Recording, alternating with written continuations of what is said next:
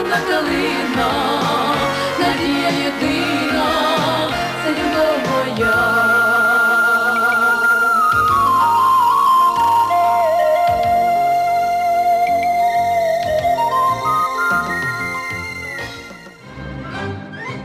нагоди Дня Покрови Пресвятої Богородиці, котрий здавна вважається Днем українського козацтва, а віднедавна ще й Днем захисників вітчизни, обласна медична наукова бібліотека запросила на зустріч медичних працівників, учасників АТО.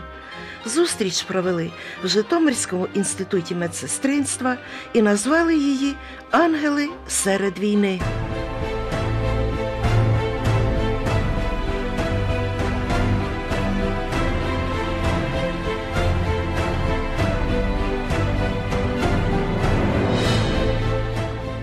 Бо таки справді ангели там, на передовій, де свистять кулі і рвуться снаряди, тільки вони могли зупинити біль і врятувати життя. І робили це досить часто. Організовуючи цей захід, ми ставили собі за мету, щоб е, студенти, громадськість міста Житомира дізналася про е, героїчні вчинки наших героїв-медиків, які перебували на сході України в зоні АТО. Вони дійсно, кожен із них зараз на робочому своєму місці нічим не відрізняється від інших людей. Але сьогодні, але який героїзм, які е, подвиги вони показували, перебуваючи на сході України під пу- е, під свистами пуль, під мінами. В бойових діях на сході брали участь 2,5 тисячі медичних працівників, лікарі, фельдшери, медсестри. 197 із них відзначені високими державними нагородами. 35 загинули, виконуючи свій обов'язок. І серед тих, і серед інших є і наші земляки. Вони роблять свою справу. Вони допомагають е, людям, допомагають пораненим і не тільки е, е, військовим, які приймають участь в антитерористичній операції, а також і мирному населенню, тому що є наші працівники в складі е, баталі... е, перший е, госпіталь імені Пірогова добровольчий, в якому працюють ну, на такій ротаційній Це в. Києві чи десь там?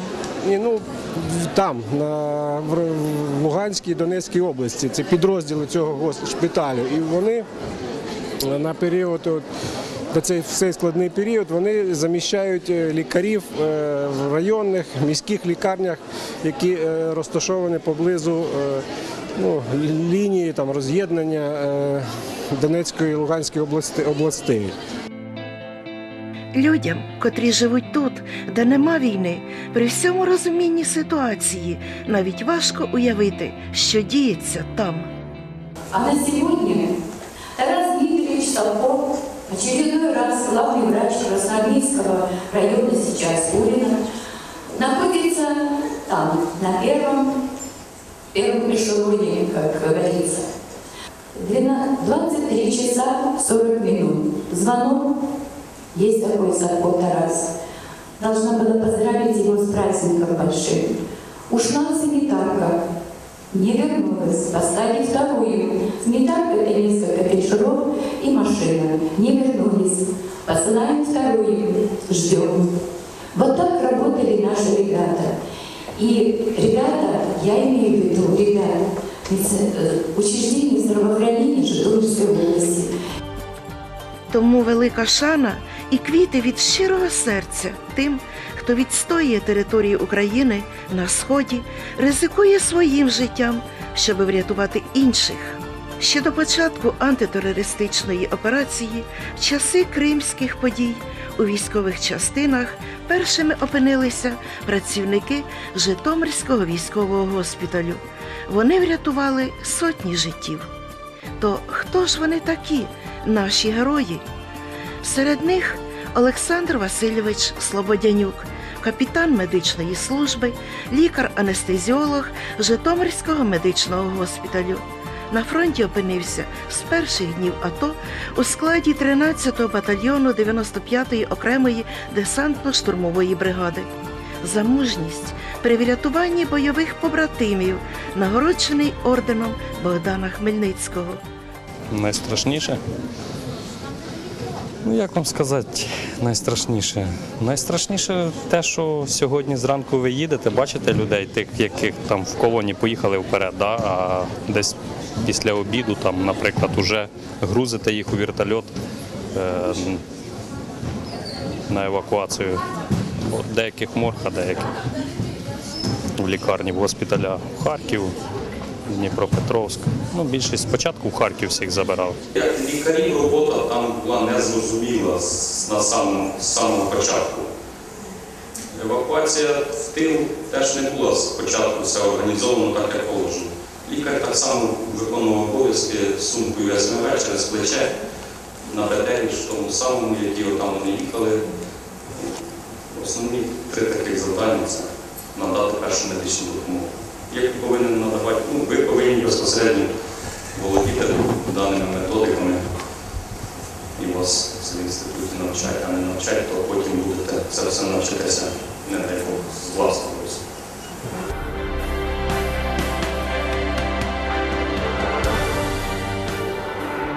Прийнято вважати, що у війни не жіноче обличчя, але скільки жінок побували в зоні бойових дій як волонтери, військовослужбовці і, звичайно ж, медики.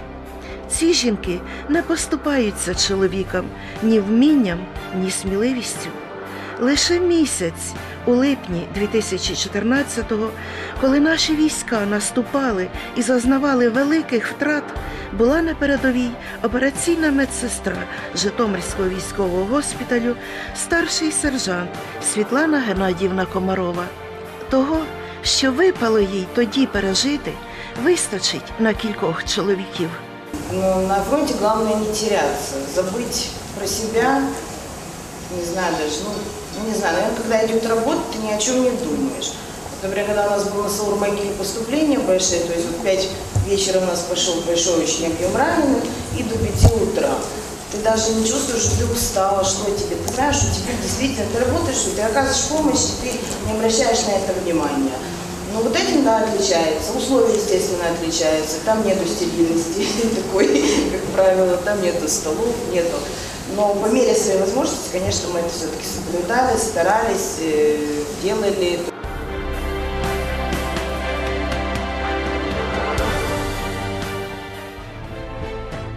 Лікар Житомирського військового госпіталю, підполковник медичної служби В'ячеслав Анатолійович Вигівський побував у зоні бойових дій. Багато наших воїнів завдячують йому і його підлеглим за врятоване життя, збережене здоров'я. Було й таке, що разом із Світланою Геннадіївною та ще однією медсестрою опинився в тилу сепаратистів. За мужність відзначений орденом Богдана Хмельницького і цими днями знову виїжджає на передову. Тож які шляхи довелося там пройти, що лишилося в душі і пам'яті?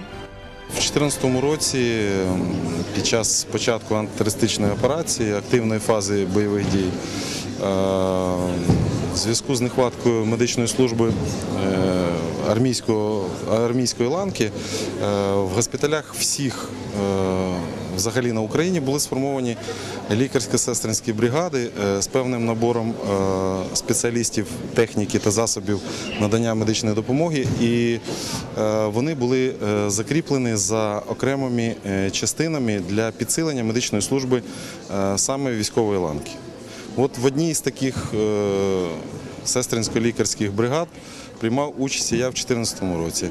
Липень, серпень 2014 року якраз з території Російської Федерації зайшло 5 батальйонно-тактичних груп.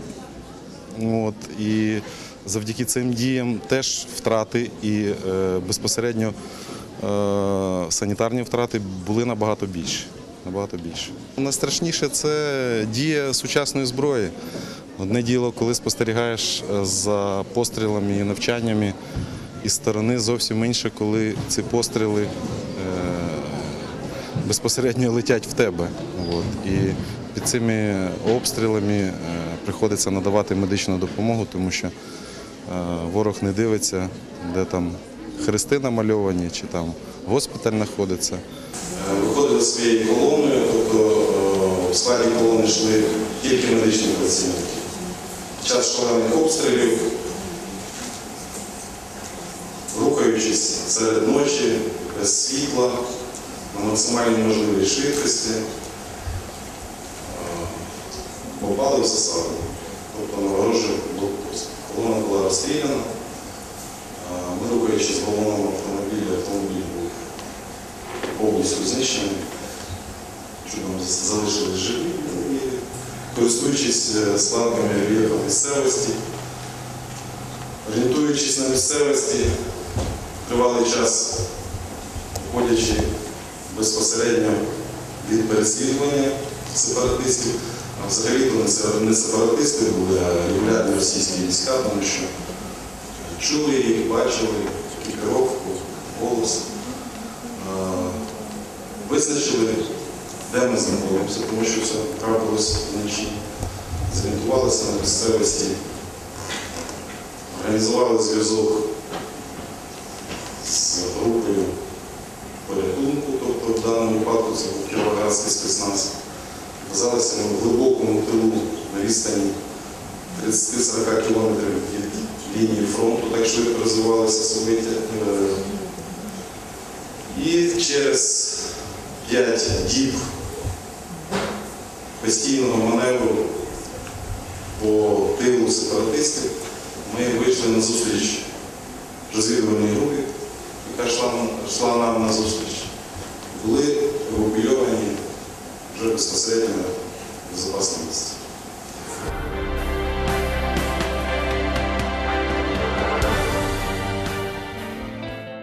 Віктор Миколаєвич Опанасюк не військовий лікар, цивільний, працює в перинатальному центрі анестезистом, але повістку отримав ще днів за 10 до оголошення АТО. На передовій разом із 30-ю окремою механізованою бригадою з Новограда Волинського провів 5 місяців аж до свого тяжкого поранення. Отримав орден за мужність. Тепер знову на своєму попередньому місці роботи допомагає мамам і немовлятам. Прийшла повістка 26 березня 2014 року. Так попав за призовом 30-ту окрему механізовану бригаду міста Новоград-Волинського. Служив в медичній роті на посаді медичної сестри операційної. Потім, ну, як все почало розгорятися в розгар цей, ми попали в Луганську область. Спочатку був на блокпосту, а потім з другим батальйоном, батальйоном тактичною групою, ми були е, за щастям. Ну, найстрашніше це бачиш, коли твоїх колег привозять уже там поранених чи так трьохсотих чи двохсотих уже надавати медичну допомогу, тому що поранення були всякі, і це все в польових умовах, так тому що розвертати це все якби не було коли і як, тому що в будь-яку минуту міг би бути якийсь обстріл. Чи...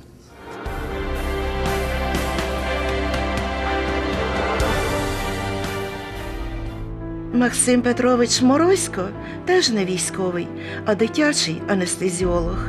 Але з перших днів АТО був мобілізований до медичної роти 95-ї аеромобільної бригади у званні молодшого лейтенанта і разом із нею пройшов усе пекло перших днів тієї жорстокої, незрозумілої війни. Пришлось немножко покататься по Донецкой, Луганской области вместе с 95-й бригадой. А, Были, были ну, практически везде, где была бригада, за исключением там пару выездов. Везде пришлось побывать. А, Вместо того, чтобы работать анестезиологом, приходилось работать фельдшером, и санитаром-стрельцом, и санитаром, и доктором, и стоматологом. Многопрофильный был бы врач, потому что врачей не хватало, приходилось перекрывать везде, э, все, как говорится, все дыры. Что поразило на войне? Был случай, вот, когда штурман э, пытались э, выбить сепаратистов с шахты Бутовка.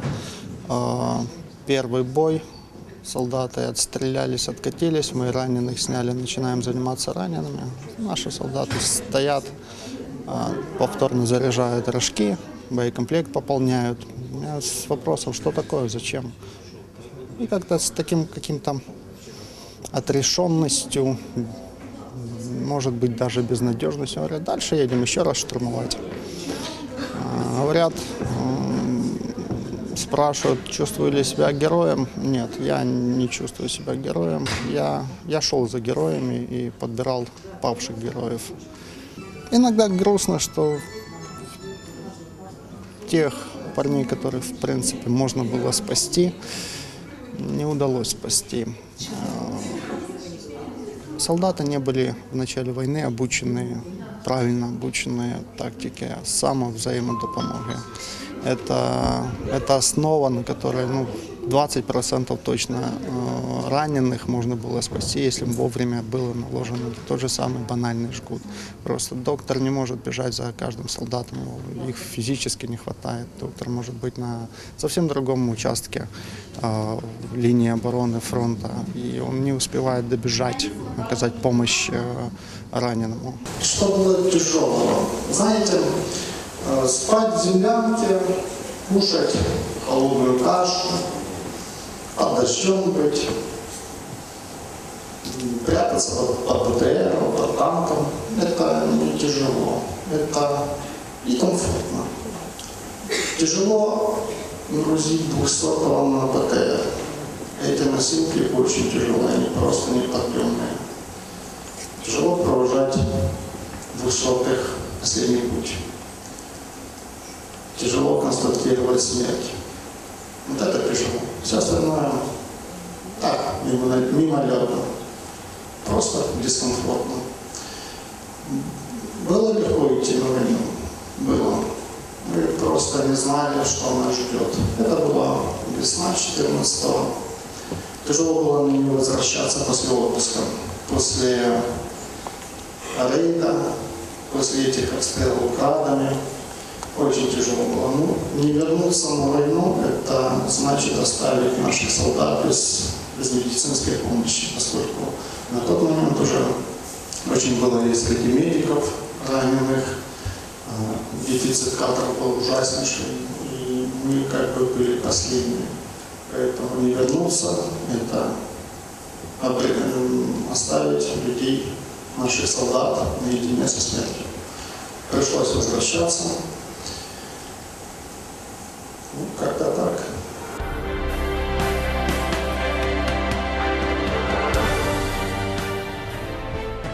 Найголовніша медична спеціальність на війні хірурги, адже найбільше там доводиться працювати з пораненими.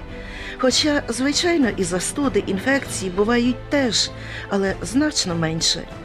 Про хірурга першої міської лікарні Житомира Олега Володимировича Шубіна один його колега розповідав таке: їдемо в БТР, попереду БТР із військовими і потрапляємо під шалений мінометний обстріл. Ми встигаємо вистрибнути і сховатись в якомусь окопі, бо голову підняти було страшно. І раптом у БТР із військовими влучає міна, він спалахує. Звідти чути крики Лікаря, лікаря. Тоді лікар Шубін зітхнув, сказав така робота, звівся на ноги і побіг до палаючого БТРа. Напарник подумав, він же цивільний лікар, а я військовий, і собі побіг слідом. Ось така історія. Так що орден Богдана Хмельницького Олег Шубін отримав недаремно. Був практично майже у всіх всіх місцях, де була 95-та бригада. Доброполе, Карачун, Славянск, Краматорськ, е, Кривая Лука, так называемый рейд под Донецким аэропортом, не в самом аэропорту, ну, недалеко от него. Ну, ну, так, где требовали, там и был. На выездах это практически круглосуточная работа. Больные, раненые. Количество не учитывалось. Все, кто обращался, всем помогали в силу возможностей и средств. Было в Степановке, было, обращалась бабушка, у нее был перелом лучевой кости в типичном месте со смещением. Вот. Ну, учитывая то, что ни рентгена, ничего там у нас такого не было. Просто попытались в меру возможности сделать репозицию, наложили гипсовую повязку. Ну, так в Славянске обращались местные жители, там директор какого-то детского дома или детского санатория подходил, там просил медикаментов, так детей посмотреть. Вот. Жители, которые ну, недалеко от базового лагеря жили, тоже обращались там с различными заболеваниями. М, Всякое было. Точно так же получил повестку. Э, позвонили из военкомата, попросили подойти уточнить данные. Уточнение все закончилось уже тем, что в обед я уже был в 95-й бригаде, ну, получал там складах военную форму. Вот, Точно так же. Неделя в в расположении бригады на Калуге. Через неделю э, отправили колонны э, на юг, в Херсонскую область. А Оттуда выехали уже непосредственно, как она называлась, это все зоны АТО. Э, наверное, Не было понимания э, того, куда мы едем. Антитеррористическая операция, она звучит как-то помягче, чем война. Э, Понимание уже пришло потом, скажем так, не, хочу там показаться каким-то там страшным боевиком. Вот, в своем бою особого страха не было. Страх был только перед э, неизвестностью.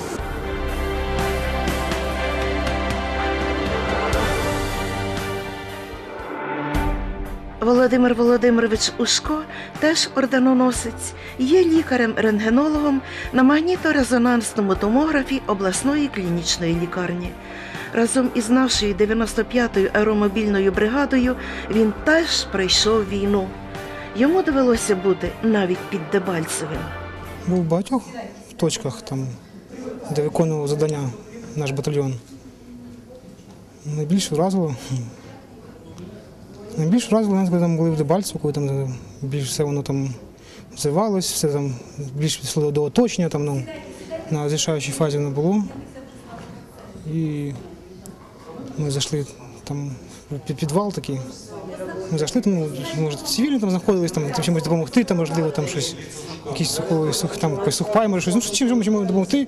І теж там з медиків там е, був головний лікар Дебальської лікарні, не знаю якої лікарні. Ну, Ми питаємо його, що, ви- що ви тут робите? Чому не поїхали раніше? Ну, війна взривається, ну, чого ви не втекли? Ви що такі там адекватна людина, розумна, головний лікар. Він каже, я все розумію, війна, не війна, але я я нікуди я відчу. Це моя лікарня. Це моя лікарня, нікуди тікати, я нікуди не йому раніше виїхати. Каже, це моя лікарня, я віддав неї душу. І десь поїхати, каже, я. Мені не важливо, хто тут бреде, ну я лікар, головний лікар, віддав душу і десь поїхати далеко і втратити все. Така цікава. Я хочу пожелать, чтобы, не было войны, чтобы вы никогда не видели, не слышали, не чувствовали, что война, потому что это, это страшно, когда, когда умирают твои друзья, когда умирает количество твоих друзья, запомни. Когда ты вкладываешь какое-то дело, вот, очень часто в глазах людей, которые вкладывают в свое дело, всю свою жизнь, уже планируют, мина, прилетел враг, и все, что они думали, знали, планировали, все. Нет, нет. Не дай Бог вам этого видеть, чувствовать и знать.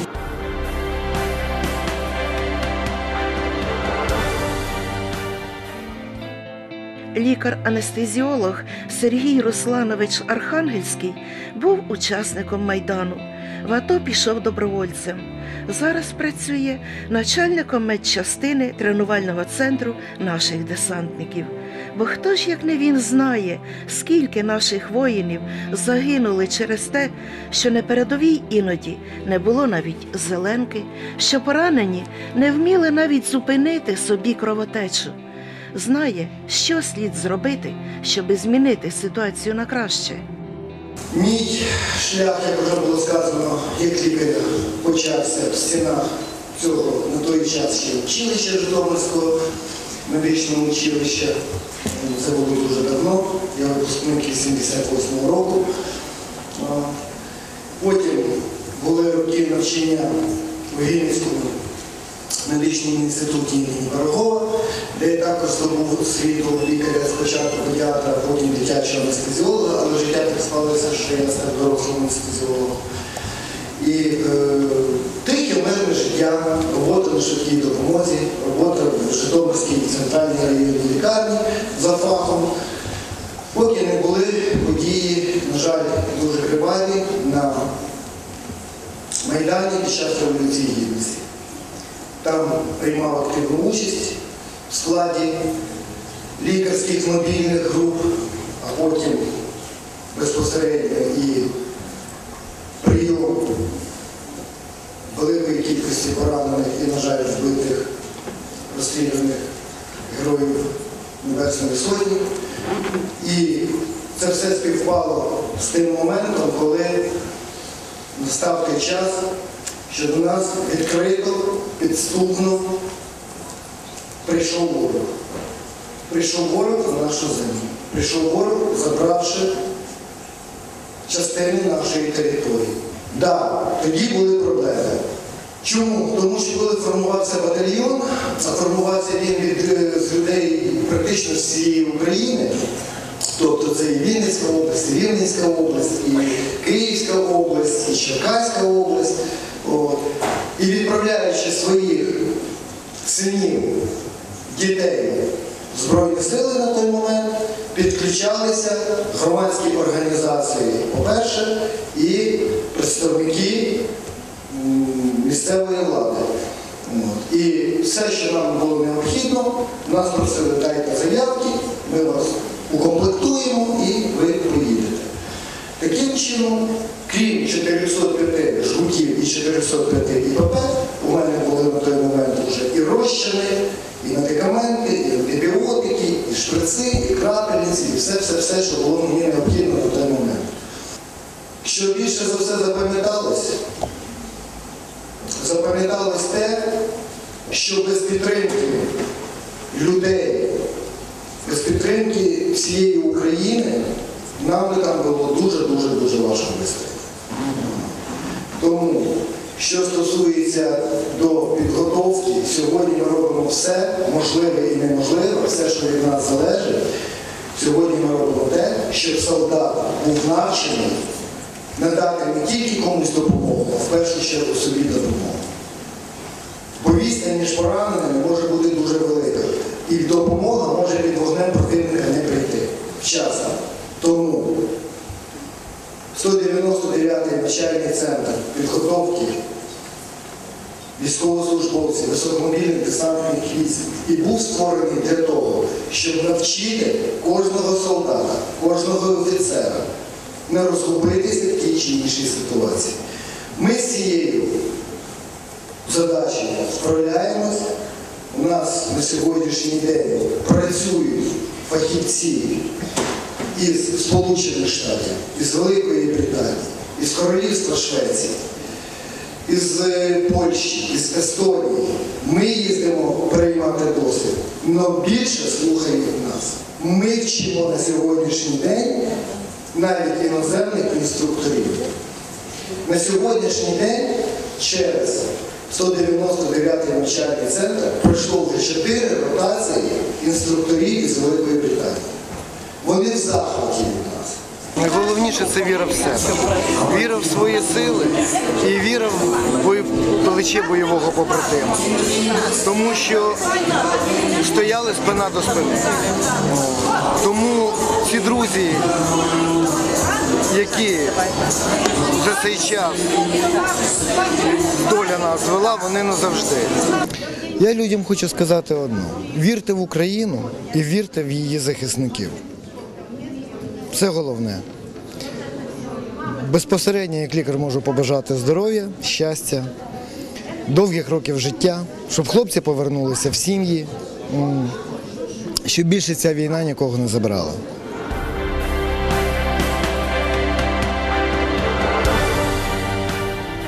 Згадали і тих медичних працівників, які були в АТО і вже ніколи не повернуться додому. Їх 35. Серед них і наш земляк, випускник Житомирського інституту медсестринства Артур Олександрович Пушанко, командир 2-ї аеромобільної десантної роти 95-ї аеромобільної бригади. Він мав тільки 21 рік.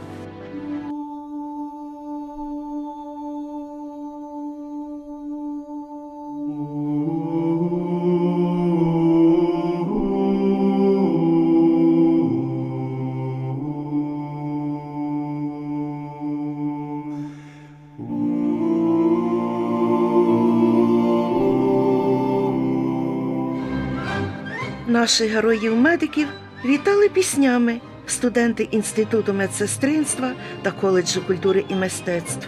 І це була якась віддушина, що знімала наболіле. Бо ніщо на світі не дається легко, в тому числі і свобода та незалежність батьківщини. Її благополуччя і розквіт. Коли все це буде, згадаймо і тих, хто стояв на передовій.